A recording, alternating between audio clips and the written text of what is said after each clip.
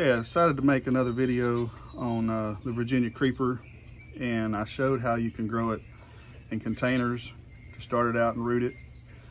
You can continue to grow in a container, in a, a larger container, or you can plant it out in the soil in the ground where uh, the permanent location. But I wanted to show you on styrofoam cups. This is a perlite um, peat mix and you can also, uh, when I sell these, sometimes I sell it in a long root, sometimes they'll come individually like this. And I wanted to show you that you can put that into a styrofoam cup.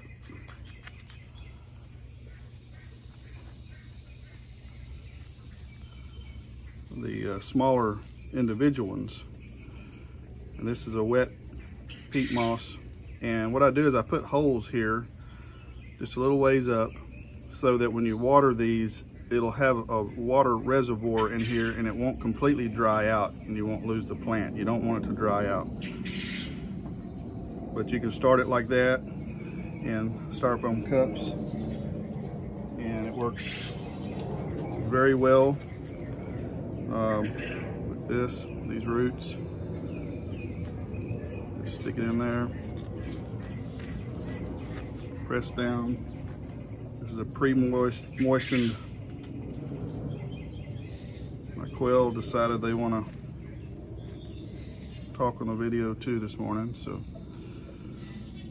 anyway, I just want to make that video and show that you can grow those smaller individual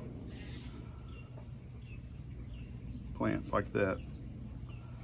And when they cup, the will they'll circle and they'll fill that pot up or that cup with roots. And then you just pull that whole thing out make a hole in the ground or in, the, in a container plant it in and it'll it'll take off. It'll start sending out shoots. I cut that one off but it was pretty long. But I just wanted to show how that was done as well. Thanks for watching. Stay tuned for more videos